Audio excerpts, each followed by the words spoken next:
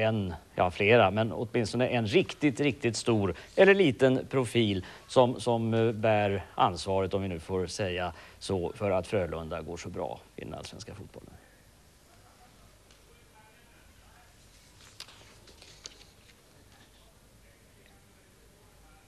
Nej. Okej, okay, jag hör här i mitt högra öra att det är lite kaos lite överallt och eh, vi får nu lämna fotbollen eh, tills vidare och istället gå tillbaka till Gävle.